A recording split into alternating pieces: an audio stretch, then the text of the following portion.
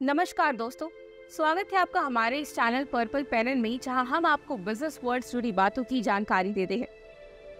दोस्तों, आज के इस टॉपिक में हम बात करेंगे इंडिया के फ़ेमस ऑन्टरप्रेन्योर सीईओ और को founder lens card Piyush Bansal की, जो अभी के समय काफ़ी छाए हुए हैं। और जब से वे शार्क टैंक इंडिया का हिस्सा बने हैं, तब से हर इंडियन यूथ उन्हें फॉलो करा है। कैसे उन्होंने अपने बिज़नेस को ज़ीरो से शुरू करके आज ग्यारह हज़ार करोड़ की कंपनी बना डाली? इस टॉपिक में हमें पीयूष बंसल की लाइफ जुड़ी वो सारी बातें आपके साथ शेयर करेंगे कि कैसे उन्होंने शुरुआत की और कैसे वो आज यहाँ तक पहुँच पाए, जिससे आपको काफ़ी मोटिवेशन भी मिलेगा।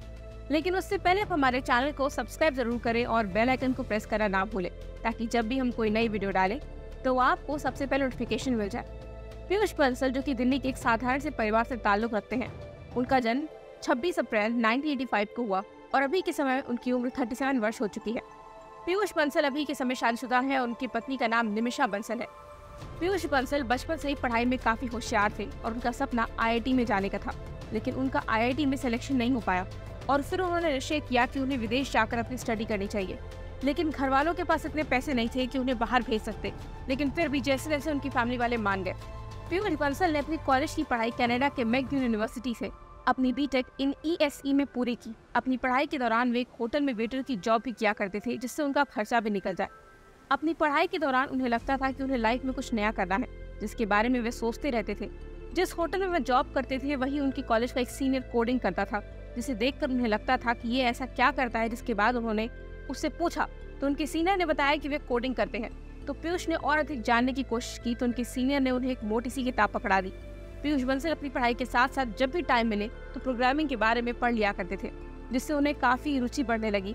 फिर उन्होंने ठान लिया कि वो भी प्रोग्रामर बनेंगे और उन्होंने अपना एक मिशन बना लिया कि उन्हें अब माइक्रोसॉफ्ट में ही जॉब करनी है। लेकिन जब उन्हें पता चला कि माइक्रोसॉफ्ट उनके कॉलेज में प्लेसमेंट के लिए नहीं आती है तो फिर भी उन्होंने हार नहीं मानी और मेहनत करते रहे। जब वे पहली बार माइक्रोसॉफ्ट में इंटरव्यू देने गए तो रिजेक्ट हो गए, लेकिन उन्होंने फिर से कोशिश की और दूसरी बार में सेलेक्ट हो गए। पीयूष बंसल ने करीब एक साल तक माइक्रोसॉफ्ट में काम किया उसी दौरान में बिल गेट्स से भी मिलने का मौका मिला और वो दिन उनके लिए काफ़ी प्राउड मोमेंट वाला था। वे बताते हैं कि उस एक साल में उन्हें जॉब करते हुए कई चीज़ें सीखने को मिली, कैसे प्रोडक्ट पर काम किया जाता है और कैसे क्लाइंट की प्रॉब्लम सॉल्व की जाती है। अपनी जॉब के दौरान पीयूष को लगा कि आखिर मैं कब तक सॉफ्टवेयर अपडेट करता रहूँगा।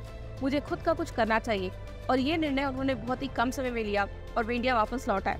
जिसके बाद उनके फैमिली वाले बहुत खुश थे कि उनका बेटा इतने सालों बाद घर आया है और इस बात का भी दुख कि उन्होंने नौकरी छोड़ दी। जब वे घर लौट आए तो उस समय उनके दिमाग में ऐसा कोई आइडिया नहीं था कि क्या करना है। वे बस यही सोच रहे थे कि अपना खुद का बिज़नेस करना है और उन्होंने अपने घर की गैराज को अपना ऑफ़िस बना लिया और तीन से चार महीने यही सोचने में लगा दिए कि आखिर क्या करना है। फिर काफ़ी ब्रेन के बाद उन्हें आइडिया आया कि क्यों ना चश्मों का बिज़नेस किया जाए और वो भी एकदम अलग तरीके से, जिसके लिए उन्होंने काफ़ी रिसर्च किया। तब उन्होंने जाना कि पूरी दुनिया में 40 प्रतिशत लोगों को चश्मे की ज़रूरत है और इंडिया में 25 परसेंट लोगों को चश्मे की ज़रूरत है। तब उन्होंने ठान लिया कि पूरी दुनिया को चश्मा पहनाना है। वो भी स्टाइलिश तरीके से, जिससे लोगों को आरामदायक भी लगे और वो एक फ़ैशन की तरह इसे इस्तेमाल कर सकते हैं। वे जान गए कि आँखों की कमज़ोरी आज के समय पूरी दुनिया में सभी को है और विजन प्रॉब्लम कितनी घातक होती है, ये सभी को पता है। आँखों की समस्या आपकी कार्य की क्वालिटी को खराब करता है, जिससे आपकी प्रोडक्टिविटी पर भी असर पड़ता है। तब जाकर पीयूष ने बाकी दो पार्टनर के साथ मिलकर 2011 में लेंस की शुरुआत की और वे अपने इन्वेस्टर भी जोड़ते गए।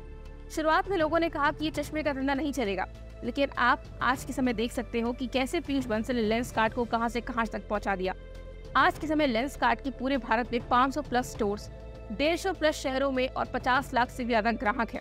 2019 में लेंस कार्ड एक यूनिकॉर्न बन चुकी थी और आज के समय लेंस कार्ड की वैल्यूएशन ग्यारह हज़ार करोड़ हो चुकी है। अभी के समय पीयूष बंसल की कुल नेटवर्थ 600 से 700 करोड़ तक है। जहाँ लॉकडाउन के समय पूरी दुनिया बंद थी और पूरा बिज़नेस बंद था, वहाँ लेंस कार्ड को अपने नए ग्राहक जोड़ने का और मौका मिला।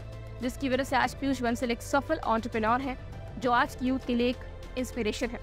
दोस्तों, पीयूष बंसल जिस तरह से आज के समय शार्क टैंक इंडिया शो के माध्यम से नए ऑन्टरप्रेन्योर से जुड़े हैं, उनकी तरह और भी बाकी लोग हैं, जो इंडियन ऑन्टरप्रेन्योर को काफ़ी आगे ले जाने में मदद कर चुके हैं और लोग आज के समय अपनी ऑन्टरप्रेन्योर की जर्नी शुरू करना चाहते हैं। अगर आप पीयूष बंसल को लाइफ में फॉलो करते हो तो हमें कमेंट करके बता सकते हैं। तो आज के लिए इतना ही। हमें उम्मीद है कि आपको वीडियो पसंद आई होगी। इस वीडियो को लाइक करें, शेयर करें और हमारे चैनल पर्पल पेरेंट को सब्सक्राइब करना ना भूलें। धन्यवाद।